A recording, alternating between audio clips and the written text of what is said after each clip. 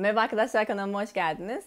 Bugün bana bir süredir sorulan bir konu üzerine video çekmeye karar verdim. Almanya'da üniversiteler koronadan dolayı nasıl etkilendiler? Başvuru tarihleri nasıl değişti? Başvurmak isterseniz ne gibi dokümanlara ihtiyacınız var? Almanya'daki üniversitelerin birbirinden farklı olması ve her üniversitenin kendi kurallarının olması bu gibi şeylerden bahsedeceğiz. Eğer kanalımı yeni keşfediyorsanız birazcık kendimden bahsedeyim kısaca. Ben e, Atılım Üniversitesi Mekatronik Mühendisliğinden mezunum. Daha sonrasında her e, sinemaya gönül vermiş Türk genci gibi ben de sinemacı olacağım. E, işte setlerde çalışacağım, kendi filmimi çekeceğim deyip setlerde çalışmaya başladım. Yaklaşık bir yıl kadar setlerde çalıştım ve bunun üzerinde bir de eğitim aldım. Evet ben bunu yaptım. Ee, daha sonrasında Almanya'da master yapmaya karar verdim. Benim üniversitem Coburg Üniversitesi'ydi. Coburg Hochschule diye geçiyor. Ee, departmanım da AIMS, Analytical Instruments Measurement and Sensor Technology diye geçiyor. Biraz uzun bir ismi var. O yüzden sadece kısaca AIMS diyorduk. İlk döneminde Coburg'da okuyorduk. İkinci döneminde Çin'e gönderiyorlardı ve herkes böyleydi. Hani böyle Erasmus programı gibi düşünebilirsiniz bunu. Yarı dönemde e, bir, bir dönem Çin'de okuyorsunuz. E, oradan da tabii öğrenciler Almanya'ya geliyor. Böyle bir değişim programıydı ve iki çift üniversite mezunu oluyorsunuz. Üçüncü döneminizde staj yapıyorsunuz. Dördüncü döneminizde de master tezinizi yazmak zorundasınız.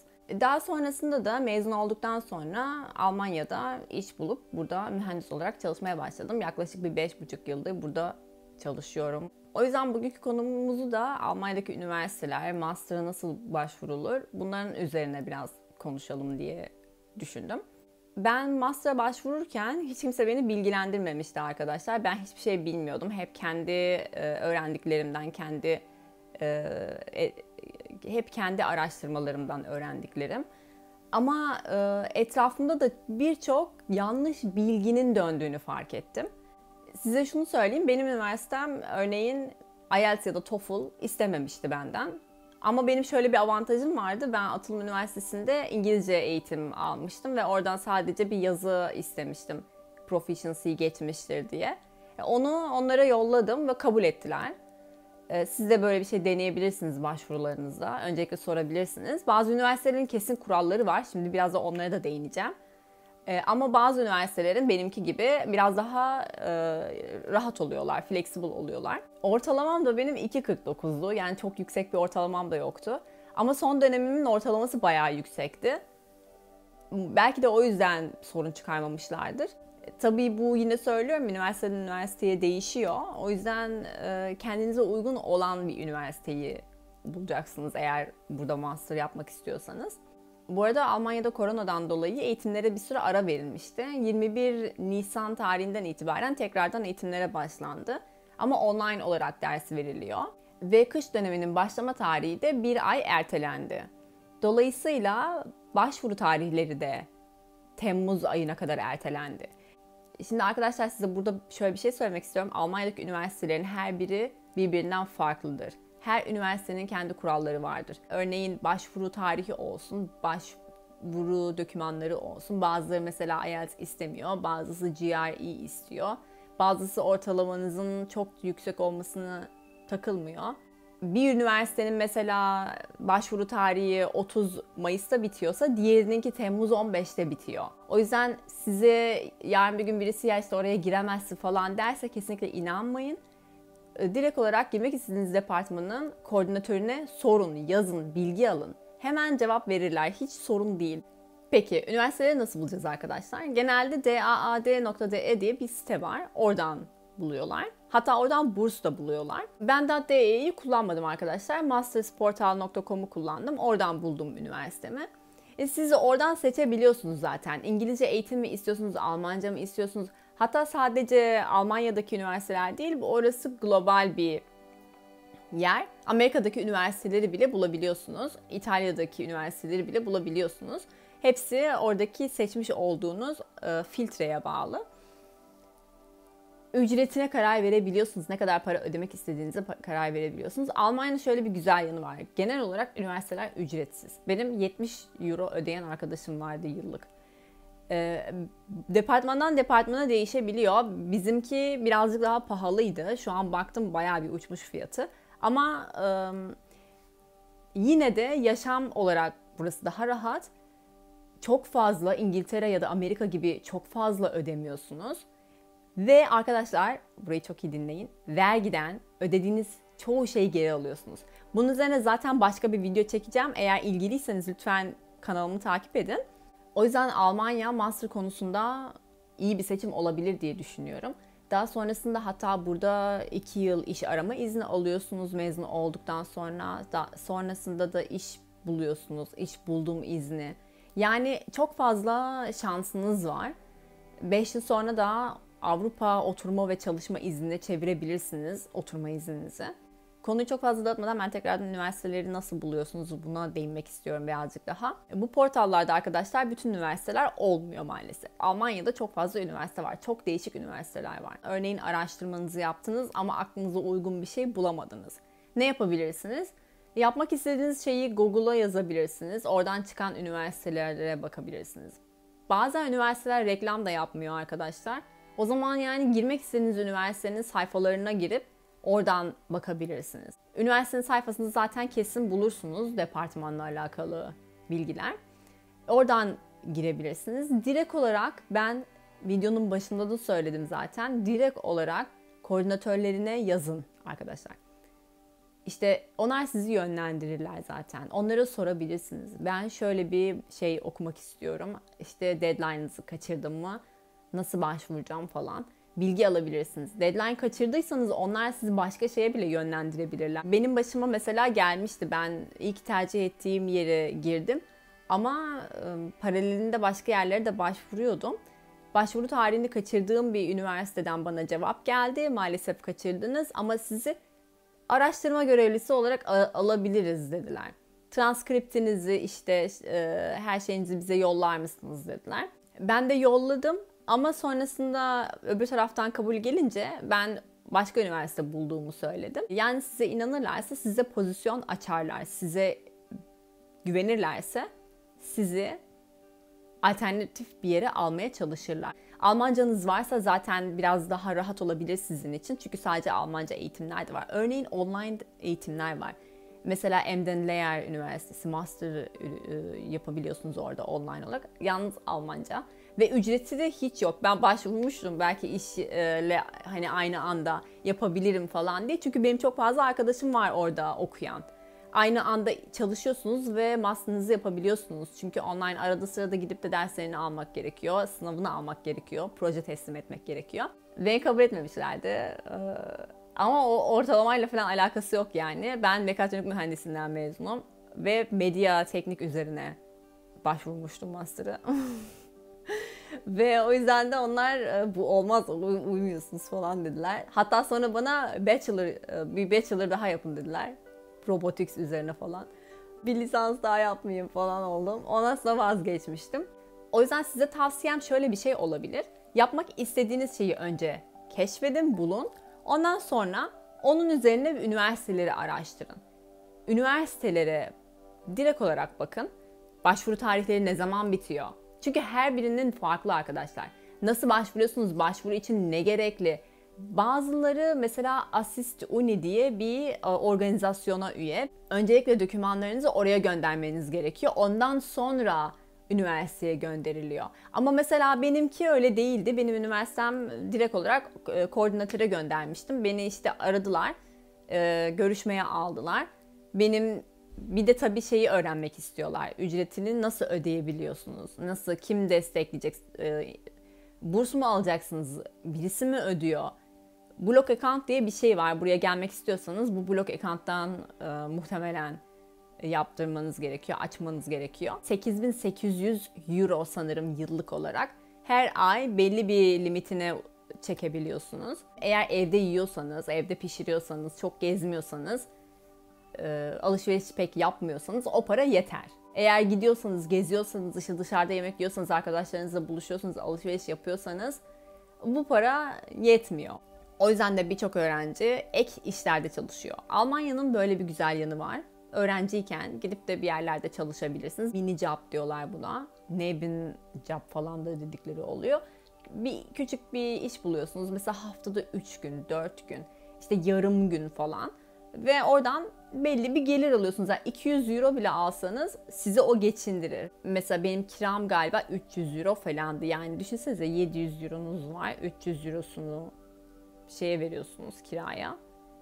E geri kalanı 400 euro ne yapacaksınız yani? Zaten market alışverişi yapsanız ne bileyim gider yani bir kısmı. Bu arada ulaşım ücretsiz arkadaşlar. Üniversitenizin e, anlaşmasına bağlı tabii ki de belli yerlere ulaşım ücretsiz diyeyim.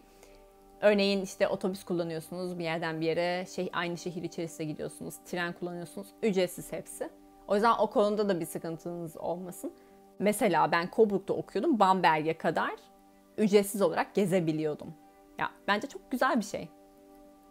Bu arada arkadaşlar Avrupa'dan gelen öğrencilerin başvuru tarihleri ve e, tabii Almanya'dan başvuran öğrencilerin başvuru tarihleri daha uzun sürüyor.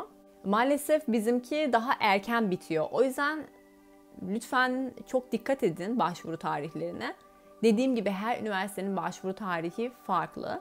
Yalnız bu korona olaylarından dolayı Temmuz ayının 15'ine kadar birçoğu ertelendi. Yani eğer hala başvurmadıysanız ve başvurmayı düşünüyorsanız başvurabilirsiniz. Eğer kafanızda soru işaretleriniz varsa işte nasıl okuyacağım, nasıl yapacağım ben bilmiyorum tamamen yabancı bir ülke. Covid-19 ile alakalı sorularınız varsa hani eğitim nasıl etkileyecek, üniversite yeni öğrencilere nasıl bir destek sağlayacak? Bunları üniversitenin kendi koordinatöründen öğrenebilirsiniz, departman koordinatöründen ya da e, Foreign Affairs bölümlerinden öğrenebilirsiniz. Onlar anında size cevap verirler. Hatta telefonunuza da bakın çünkü araya da biliyorlar bazen. Genel olarak bakıldığı zaman motivasyon mektubunuzun çok iyi olması lazım. Motivasyon mektubu da okula bir mektup yazıyorsunuz arkadaşlar. Bu mektupta ne yapmak istediğinizi, neden o branşı tercih etmek istediğinizi, size nasıl bir katkı sağlayacağını, gelecekte ne yapmak istediğinizi, orada mı yaşayacağınızı, Türkiye'ye geri dönmek istediğinizi mi ya bu tip şeyler yazıyorsunuz. Bunu çok güzel bir dille anlatmanız gerek. Ayrıca mesela üniversite hayatınızda neler yaptınız, hangi programları kullandınız kısaca belirtiyorsunuz. Çok uzun bir şekilde değil. Ne üzerine yoğunlaştınız ve neden bu departmanı istiyorsunuz? Size nasıl bir yarar sağlayacağını düşünüyorsunuz? Ayrıca sosyal aktivitelerinizden de bahsediyorsunuz. Örneğin ben rock topluluğunu kurmuştum. Ondan bahsetmiştim. Rock topluluğundan e, ödül almıştım. Ondan bahsetmiştim. Kendi e, Melodic Death Metal grubum vardı. Ondan bahsetmiştim. Bu tip dikkat çekecek şeyleriniz varsa onları eklemenizde daha çok yarar var. Örneğin ben fotoğraf sergisi açmıştım. Onu da mesela yazmıştım. Çok fazla olmamasına da dikkat edin. Abartmayın yani. Ama yine de ekleyebildiğiniz güzel gözüken şeyleri ekleyin. Yani burada biraz kendinizi okula tanıtmanız gerekiyor. Ben bunu gerçekten istiyorum ve bu bölümden güzel bir şekilde iyi bir notla mezun olacağım. Ben bunu yaparım. Ben bana ne görev verirseniz yaparım. Birazcık bunu tanıtmanız gerekiyor. Bunu anlatmanız gerekiyor. Motivasyon mektubu çok önemli arkadaşlar. Hatta yazdıktan sonra belki birilerine göstermek istersiniz. Ben öyle yapmıştım. Ben kendim pek emin olamamıştım. Ee, bir tane mühendis arkadaşım vardı. Bayağı yüksek mühendis. Ona göstermiştim. Alman kendisi. O bayağı bir çıkartmıştı içerisinden. Bunları sil, bunları sil, bunları sil. Bu olmamış falan. Ya böyle benimki çok kısa bir şey olarak kalmıştı. Ama sonra ben tekrardan eklemiştim bazılarını. Ama Almanlar çok uzun motivasyon mektubu sevmiyor arkadaşlar. Çok uzatmayın, sayfalarca yazmayın. En fazla bir sayfa. Ama bir sayfadan da daha az olsa aslında daha da iyi olabilir. Ne yaptığınızı, ne yapmak istediğinizi net bir şekilde bildirin. Almanlar net insanlardır. Severler net olmayı. Tabi transkriptinizi de yollayacaksınız. E, diplomanızın kopyasını yollayacaksınız. Bu arada diplomanız İngilizce ya da Almanca değilse bunu çevirttirmeniz gerekiyor. E, diplomanız yoksa eğer daha o zaman da üniversiteden geçici e, mezuniyet belgesi alıyorsunuz damgalı bir şekilde. Bazı üniversiteler Almanca ya da İngilizce yeterlik sınavı isteyebiliyor. Almanca muhtemelen B2 seviyesinde, İngilizce'de proficiency geçmiş olmanız gerekiyor. Diğer bir doküman da referanslar arkadaşlar. Stajlardan yapmış olduğunuz referanslar olabilir. Profesörlerinizden almış olduğunuz referanslar olabilir. Eğer Alman bir hocanız varsa ondan almış olduğunuz bir referans çok daha güzel olur bence. Eğer referans istemiyorlarsa bile bence güzel bir referansınız varsa bunları ekleyin ve gönderin. Referansı her zaman severler. Herkes sever referansı. Eğer referansınız yoksa birilerinden almaya çalışın arkadaşlar. Bu arada resimde bir özgeçmiş de istiyorlar tabii. Güzel olur, güzelce bir yazarsınız. Her şeyinizi yaptığınız, her şeyi şimdiye kadar çalıştığınız projeleri e, bunları eklersiniz, gönderirsiniz. Tabii İngilizce ya da Almanca olması gerek. Ben genelde eğer eğitim İngilizce ise İngilizce başvurulmasından yanayım. Ama Almanca da yapabilirsiniz yani. O da Almancaya ilginizi gösteriyor. Onu da çok seviyorlar Almancaya ilginizin olduğunu gördüklerinde bayağı mutlu oluyorlar. Benim mesela A1 seviyesinde bir sertifikam vardı. Daha önceden buraya dil okuluna gelmiştim. Ve onu mesela çok sevinmişler. Daha Esra ne güzel öğreniyor falan diye. Hemen böyle herkes benimle Almanca falan konuşmaya başlamıştı. Ama ben bir şey anlamıyordum. Sonrasında tabii geliştiriyorsunuz. O size bağlı arkadaşlar. Dil, bir dili geliştirmeniz kesinlikle size bağlı. Eğer siz öğrenmek istiyorsanız öğrenirsiniz. Siz öğrenmek istemiyorsanız öğrenemezsiniz. Bu kadar basit. Şu anda arkadaşlar Almanya'da kış döneminin başvuru tarihleri uzatıldı. Eğer şu an başvuru yaparsanız kabul edilme olasılığınız gerçekten çok çok yüksek. Çünkü kış döneminde muhtemelen çok fazla insan başvuru yapmak istemeyecektir. Almanya'da bir de şöyle bir şey var arkadaşlar. Örneğin Avrupa'dan alacağı öğrencileri için 20 kişilik bir kontenjan açmış olabilir üniversite. Türkiye'den alacağı öğrenciler için 5 kişilik bir kontenjan açmıştır mesela. Çin'den alacağı öğrenciler için ve Hindistan'dan alacağı öğrenciler için mesela 10 kişilik bir kontenjan açmıştır.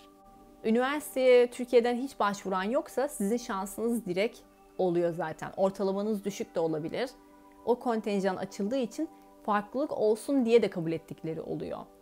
Birazcık daha uluslararası bir departman olsun, farklılık olsun, farklı dilde konuşan birisi olsun diye bile size inanırlarsa, motivasyon mektubunuz kuvvetliyse sizi alırlar arkadaşlar. Bu arada ortalamanız düşük de olabilir. Ona da çok takılmayın. Onu da motivasyon mektubunuzda anlatabilirsiniz. Örneğin benim ortalamam düşük ama departmanın ortalaması zaten şuydu. O yüzden ben aslında çok da düşük bir ortalamaya sahip değilim şeklinde. Bunu motivasyon mektubunuzda da kısaca belirtebilirsiniz. Ya da sizi arayacaklar zaten, görüşmeye alacaklar telefonla. Skype da yapabilirler bu arada. O zaman da söyleyebilirsiniz. O zaman da bu departmanı ne kadar çok istediğinizi ve ortalamanız böyle bile olsa aslında çok da düşük olmadığını bir şekilde güzel bir dille onlara açıklayabilirsiniz. Bugünlük benden bu kadar. Umarım videom yararlı olmuştur. Eğer bu konularda daha fazla bilgi sahibi olmak istiyorsanız bana e, aşağıya yorum kısmına sorularınızı sorabilirsiniz. Ya da Instagram hesabım var. Onu takip edebilirsiniz. Oradan da mesajla gönderebilirsiniz. Lütfen kanalıma abone olmayı unutmayın. Çünkü yeni videolar çekeceğim bu konular hakkında. Ben uzun yıllardır burada yaşadığım için sizin korkularınızı ben de yaşadım arkadaşlar. O yüzden biliyorum. Kendim de deneyimlediğim için belki bir şekilde size yardımı da dokunabilir bu e, deneyimlerimin. O zaman çok teşekkür ediyorum beni dinlediğiniz için. Bir sonraki videomda görüşmek üzere. Hoşçakalın.